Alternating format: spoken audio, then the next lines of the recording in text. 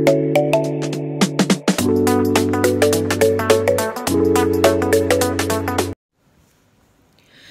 friends welcome to Ashi seven അപ്പോൾ ഞാനിന്ന് വന്നിരിക്കുന്നത് ഒരു ചിക്കൻ ബിരിയാണിയുടെ റെസിപ്പി ആയിട്ടാണ് കേട്ടോ ഒരു ആനിവേഴ്സറി സ്പെഷ്യൽ ചിക്കൻ ബിരിയാണിയാണ്. കാരണം ലാസ്റ്റ് സൺഡേ എന്റെ പപ്പയുടെയും മമ്മിയുടെയും വെഡിങ് ആനിവേഴ്സറി ആയിരുന്നു. അപ്പോൾ ഞങ്ങൾ അവർക്കൊട്ടും ഒരു സർപ്രൈസായിട്ട് ഞങ്ങൾ അവിടെ പോയിട്ടുണ്ടായിരുന്നു. ജസ്റ്റ് ഒരു കേക്ക് കട്ടിങ് അത്രയും ഉണ്ടായിരുന്നുള്ളൂ. അപ്പോൾ അതിനുവേണ്ടി പോയപ്പോഴേ പപ്പ പെട്ടെന്ന് ഉച്ചയ്ക്ക് ഞങ്ങൾക്ക് എല്ലാവർക്കും കഴിക്കാനായിട്ടൊരു ബിരിയാണിയാണ് ഉണ്ടാക്കിയത്. അപ്പോൾ അത് കണ്ടപ്പോൾ എനിക്ക് വളരെ സിമ്പിളായിട്ടാണ് പപ്പ അത് തയ്യാറാക്കിയത്. അപ്പോൾ അത് കണ്ടപ്പോൾ എനിക്ക് നിങ്ങളായിട്ടൊന്ന് ഷെയർ ചെയ്താൽ കൊള്ളാമെന്ന് തോന്നി. അങ്ങനെയാണ് ഇപ്പോൾ ഞാൻ ഈ വീഡിയോ നിങ്ങളെ കാണിക്കാൻ പോകുന്നത്. അപ്പോൾ നിങ്ങളത് കണ്ടിട്ട് എന്നെ ഫീഡ്ബാക്ക് ഒക്കെ അറിയിക്കാൻ മറക്കരുത്. അതോടൊപ്പം നിങ്ങൾ എന്റെ ചാനൽ ആദ്യമായിട്ട് കാണുന്നവരുണ്ടെങ്കിൽ എന്നെ ഒന്ന് സബ്സ്ക്രൈബ് ചെയ്ത് സപ്പോർട്ട് ചെയ്തേക്കുക. തൊട്ടടുത്തുള്ള ബെല്ലൈക്കൺ കൂടി പ്രസ് ചെയ്താൽ ഞാൻ അപ്ലോഡ് ചെയ്യുന്ന എല്ലാ വീഡിയോസും നിങ്ങൾക്ക് നോട്ടിഫിക്കേഷനായി ലഭിക്കും. അപ്പോൾ നമുക്ക് ഒട്ടും സമയം കളയണ്ട. നമുക്കൊന്ന് വീഡിയോ കണ്ടിട്ട് വന്നാലോ?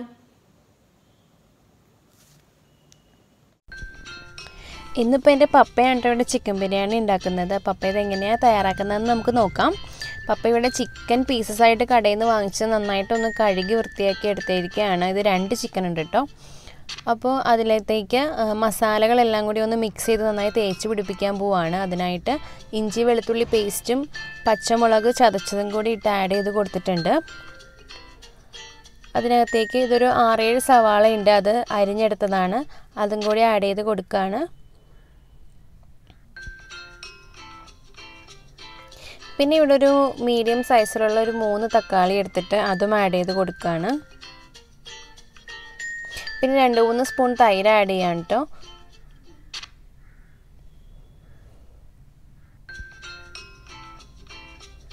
പിന്നെ നാരങ്ങ നീരാണ് കേട്ടോ പപ്പ ഇവിടെ ആഡ് ചെയ്ത് കൊടുക്കുന്നത്. ഒരു രണ്ട് നാരങ്ങയുടെ നീരാണ് കേട്ടോ ഈ എടുത്തിരിക്കുന്നത്. അതുപോലെ തന്നെ മല്ലിയില ഒരു മൂന്നാൽ തണ്ട് മല്ലിയില എടുത്തിട്ട് ചെറുതായിട്ട് അരിഞ്ഞെടുത്തതാണ്. അതും ആഡ് ചെയ്ത് കൊടുത്തിട്ടുണ്ട്. അതുപോലെ തന്നെ പുതിന ഇലയാണിത് ആഡ് ചെയ്ത് കൊടുത്തിട്ടുണ്ട്. മല്ലിയിലയും പുതിന നല്ലൊരു ടേസ്റ്റാണ് നമ്മളുടെ ഗ്രേവിക്ക് നൽകുന്നത്. അപ്പോൾ ഇതെല്ലാം ആഡ് ചെയ്തതിന് ശേഷം ഇനി ആവശ്യത്തിന് ഉപ്പ് ആഡ് ചെയ്ത് കൊടുക്കുക. ഇതിപ്പോൾ നമ്മളെല്ലാം നന്നായിട്ട് മിക്സ് ചെയ്ത് പിടിപ്പിക്കുകയാണ് കേട്ടോ. അതായത് ഇനി നമുക്ക് ഫ്ലെയിം ഓൺ ചെയ്തിട്ട് വെച്ചാൽ നമ്മളുടെ ഗ്രേവി റെഡിയാവും അതായത് ചിക്കൻ ഗ്രേവി റെഡിയാവും ആ ഒരു പാകത്തിനാണ് കേട്ടോ ചെയ്യുന്നത്. വളരെ പെട്ടെന്ന് തന്നെ നമുക്ക് ഉണ്ടാക്കിയെടുക്കാവുന്നതേ ഉള്ളൂ കേട്ടോ. ഇനി നമുക്ക് പൊടികൾ ആഡ് ചെയ്ത് കൊടുക്കുക. ഇവിടെ ഇപ്പോൾ രണ്ട് ടീസ്പൂൺ മഞ്ഞൾപ്പൊടി ഇട്ടിട്ടുണ്ട്. അതുപോലെ തന്നെ ഒരു ടേബിൾ സ്പൂൺ കുരുമുളക് പൊടിയും ഒരു ടീസ്പൂൺ മുളക് പൊടിയും അതുപോലെ തന്നെ ഇതിപ്പോൾ മസാലയാണ് നമ്മളിപ്പോൾ രണ്ട് ടേബിൾ സ്പൂൺ ബിരിയാണി മസാലയും ഒരു ടേബിൾ സ്പൂൺ ഗരം മസാലയും ആട്ടോ ആഡ് ചെയ്ത് കൊടുത്തിരിക്കുന്നത്. ഇനിയിപ്പോൾ ഇതിനകത്തേക്ക് ഓയിലാണ് അതായത് നമ്മളുടെ ആർ കെ ജി നെയ്യും ഓയിലും രണ്ടും കൂടി ഒന്ന് മിക്സ് ചെയ്തിട്ട് ഇട്ട് കൊടുത്തിരിക്കുകയാണ് കേട്ടോ ഇനി ഇതെല്ലാം ഒന്ന് നന്നായിട്ട് മിക്സ് ചെയ്തെടുക്കുകയാണ് അതായത് നന്നായിട്ടൊന്ന് മിക്സ് ചെയ്ത് കൊടുക്കണം. അതിന്റെ ആ ഒരു ഇപ്പം നമുക്ക് ഇപ്പോൾ ചിക്കന്റെ പീസൊക്കെ അല്പം വലുതാണെങ്കിൽ എന്ത് ചെയ്യണമെന്ന് വെച്ചാൽ സൈഡൊക്കെ ഒന്ന് നമ്മളിങ്ങനെ കത്തിക്കൊണ്ട് വരഞ്ഞു കൊടുക്കുക. അപ്പോൾ നന്നായിട്ട് മസാലയൊക്കെ പിടിക്കും.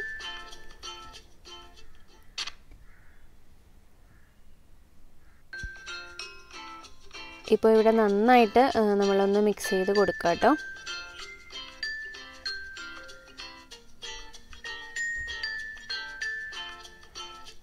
അങ്ങനെ ഇപ്പോൾ ഇവിടെ മിക്സ് ചെയ്ത് വെച്ചിട്ടുണ്ട്. ഇനി ഇത് ഒരു മണിക്കൂർ നമ്മൾക്കിപ്പോൾ അത്ര പെട്ടെന്ന് വേണമെന്നുണ്ടെങ്കിൽ ഒരു അരമണിക്കൂറെങ്കിലും നമ്മളിതിങ്ങനെ റെസ്റ്റ് റെസ്റ്റ് ചെയ്യാൻ വേണ്ടി വെക്കണം. എന്നാൽ മാത്രമേ ആ മസാലയൊക്കെ ഒന്ന് നന്നായിട്ട് ഇതിൽ പിടിക്കുകയുള്ളൂ എന്നാലേ നമുക്ക് ആ ഒരു പെർഫെക്റ്റ് ടേസ്റ്റ് കിട്ടുകയുള്ളൂ ഇനി നമുക്ക് റൈസ് എങ്ങനെയാണെന്ന് നോക്കാം. അതിനായിട്ട് ഇപ്പോൾ ഇവിടെ ഒരു കലത്തിൽ ഒരു ഗ്ലാസ് അരിക്ക് ഒന്നര ഗ്ലാസ് വെള്ളം ആ ഒരു കണക്കാണ്ടോ നമ്മൾ അരിക്ക് വെള്ളം ചേർക്കുന്നത്. അപ്പോൾ ഞാനിപ്പോൾ ഇവിടെ നാല് ഗ്ലാസ് അരിയാണ് അപ്പോൾ അതിന് പാകത്തിനുള്ള വെള്ളം ഇവിടെ ചൂടാവാൻ വെച്ചിട്ടുണ്ട്. ഇനി വെള്ളം നന്നായിട്ട് നന്നായിട്ടൊന്ന് ചൂടായി വരുമ്പോഴേക്കും അതിനകത്തേക്ക് നമ്മളുടെ പെരിഞ്ചീരകം ഏലക്ക തക്കോലം പട്ട കറയാമ്പ് ഇതെല്ലാം കൂടി ഒന്ന് അതിനകത്തേക്ക് ഇട്ട് കൊടുക്കുക. നന്നായിട്ട് ചൂടായി വരുമ്പോഴേക്കും. ഇപ്പോൾ ചൂടായി വന്നിട്ടുണ്ട്. ഇനി അതിനകത്തേക്ക് ഇതെല്ലാം ഒന്ന് ഇട്ട് കൊടുക്കുക. ആവശ്യത്തിന് ഉപ്പ് കൂടി ആഡ് ചെയ്തേക്കുക. ഇതോടൊപ്പം തന്നെ നമ്മൾ ചോറിൽ ചേർക്കാനുള്ള നെയ്യ്. നെയ്യ് ഒരു രണ്ട് ടേബിൾ സ്പൂണോളം മതിയാവും. അത് കൂടി ആഡ് ചെയ്തേക്കുക. നെയ്യ് ആഡ് ചെയ്യുമ്പോഴാണ് ആ ഒരു ഗ്ലേസിങ് ഫിനിഷ് നമുക്ക് കിട്ടുക.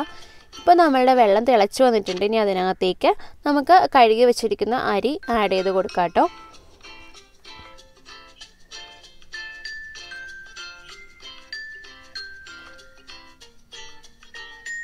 എന്നിട്ട് നന്നായിട്ടൊന്ന് മിക്സ് ചെയ്ത് കൊടുത്തേക്കുക. അതിനുശേഷം ഒരു മൂടി വെച്ചിട്ട് നന്നായിട്ടൊന്ന് ക്ലോസ് ചെയ്യുക.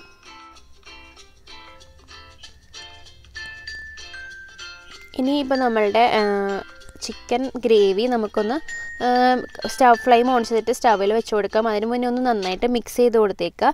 നമ്മളിപ്പോൾ ഇത്രയും നേരം വെച്ചതിന്റെ കൊണ്ട് തന്നെ വെള്ളം വരാൻ തുടങ്ങിയിട്ടുണ്ട്. നമ്മളിതിൽ സ്പെഷ്യലായിട്ട് വെള്ളമൊന്നും ആഡ് ചെയ്യേണ്ട ആവശ്യമില്ല കേട്ടോ. ചിക്കനിൽ നിന്നുള്ള വെള്ളം കൊണ്ട് തന്നെ ഇത് നമുക്ക് നന്നായിട്ട് വെന്ത് കിട്ടും. അപ്പോൾ നന്നായിട്ടൊന്ന് ഇളക്കി മിക്സ് ചെയ്തതിന് ശേഷം നമുക്ക് ഫ്ലെയിം ഓൺ ചെയ്തിട്ട് വെച്ച് കൊടുക്കുക എന്നിട്ട് ഇതുപോലെ തന്നെ ഒന്ന് ക്ലോസ് ചെയ്ത് വെച്ചേക്കുക. അപ്പോൾ ആ ഒരു മീഡിയം ഫ്ലെയിമിലിരുന്ന് അത് വെന്തോളും. ഇപ്പോൾ നമ്മളുടെ റൈസ് ഇവിടെ റെഡി ആയിട്ടുണ്ട്. ഇപ്പോൾ നമ്മളിവിടെ വെള്ളം വറ്റിച്ചെടുക്കുകയാണ് കേട്ടോ ചെയ്തിരിക്കുന്നത്. ഇപ്പോൾ ഒരു ഗ്ലാസ് അരിക്ക് ഒന്നര ഗ്ലാസ് വെള്ളം. ആ ഒരു കണക്കിൽ വയ്ക്കുമ്പോഴേക്കും നമുക്ക് കറക്റ്റായിട്ട് വെള്ളം വറ്റി അരി നന്നായിട്ട് വെന്ത് കിട്ടും. ഇപ്പോൾ നമ്മളുടെ റൈസ് ഇവിടെ റെഡി ആയിട്ടുണ്ട്. ഇപ്പോൾ നമ്മളുടെ ചിക്കൻ മസാല അതായത് നമ്മളെ ബിരിയാണി ബിരിയാണിക്ക് ആവശ്യമുള്ള നമ്മളുടെ ചിക്കന്റെ മസാല ഇവിടെ റെഡി ആയിട്ടുണ്ട്. നന്നായിട്ട് വെന്തിട്ടുണ്ട് കേട്ടോ. ഇതോടൊപ്പം തന്നെ ഇതിപ്പോൾ നമ്മൾക്ക് ബിരിയാണി സെറ്റ് ചെയ്യാനുള്ള ഒരു പാത്രത്തിലേക്ക് ചിക്കൻ മാറ്റി വെച്ചിരിക്കുകയാണ്. ഇപ്പോൾ ആ പാത്രത്തിലാണ് ഇപ്പോൾ ഉള്ളത്. ഇപ്പോൾ നന്നായിട്ട് ചിക്കൻ നമുക്ക് വെന്ത് കിട്ടിയിട്ടുണ്ട്.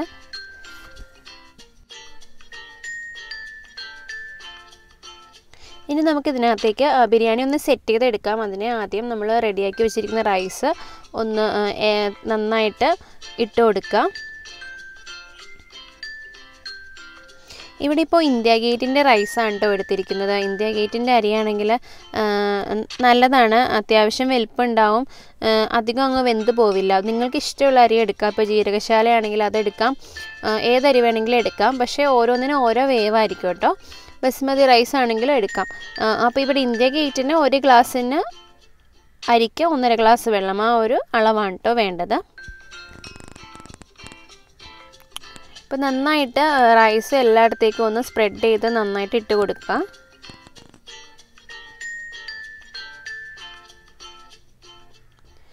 ഇനി നമുക്ക് ഇപ്പോൾ റൈസ് ഇട്ട് കൊടുത്തതിന് ശേഷം അതിന്റെ മുകളിലേക്ക് കിസ്മിസ് അണ്ടിപ്പരിപ്പ് അതുപോലെ സവാള ചെറുതായിട്ട് അതായത് വട്ടത്തിൽ അരിഞ്ഞിട്ട് അതൊന്ന് ഫ്രൈ ചെയ്തെടുത്തതാണ്. ഇതെല്ലാം കൂടി ഒന്ന് തൂയിക്കൊടുക്കുക ആവശ്യത്തിന്.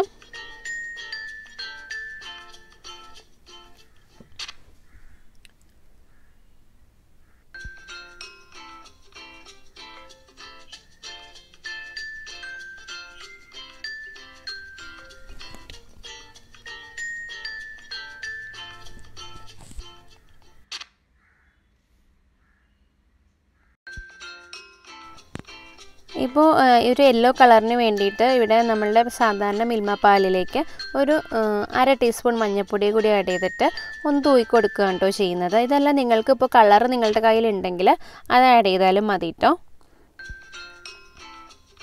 ഇനി അതുപോലെ തന്നെ ബിരിയാണി എസൻസ് ആണ് അടുത്തത് ആഡ് ചെയ്ത് കൊടുക്കുന്നത്. ഇപ്പോൾ ഒരു ടേബിൾ സ്പൂൺ ആണ് ബിരിയാണി എസൻസ് എങ്കിൽ അതേ അളവിൽ തന്നെ ഇത്തിരി വെള്ളവും കൂടി ആഡ് ചെയ്തിട്ട് ചെയ്യുക അല്ലെങ്കിൽ ആ ഒരു ഫ്ലേവർ കുറച്ച് കൂടുതലായിട്ട് നിൽക്കും.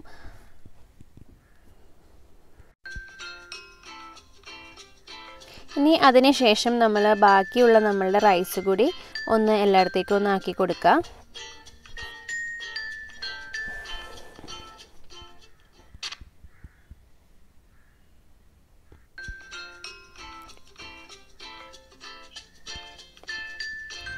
പിന്നെയും നമ്മൾ നേരത്തെ ചെയ്ത പോലെ തന്നെ അണ്ടിപ്പരിപ്പ് കിസ്മിസ് അതുപോലെ സവാള ഫ്രൈ ചെയ്ത് വെച്ചിരിക്കുന്നത് ഒന്ന് തൂയിക്കൊടുക്കുക.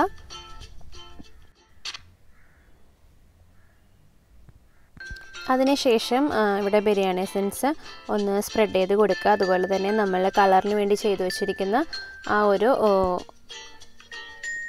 പാലിൽ മഞ്ഞൾപ്പൊടി ഇട്ട ആ ഒരു ഇത് കൂടി ഒന്ന് ആഡ് ചെയ്ത് കൊടുക്കുക.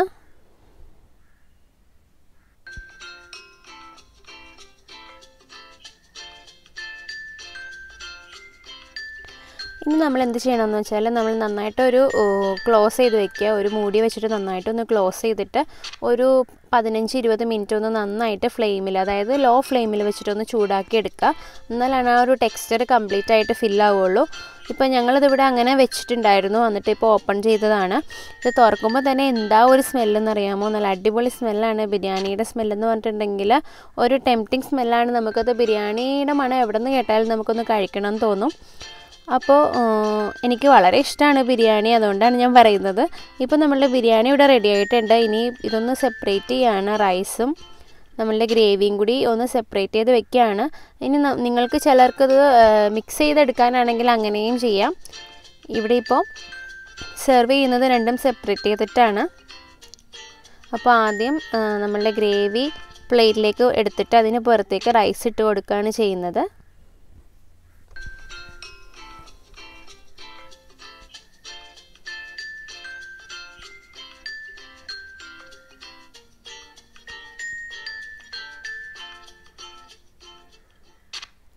അങ്ങനെ ഇപ്പോൾ ഇവിടെ ബിരിയാണി സെർവ് ചെയ്ത് വെച്ചിട്ടുണ്ട്.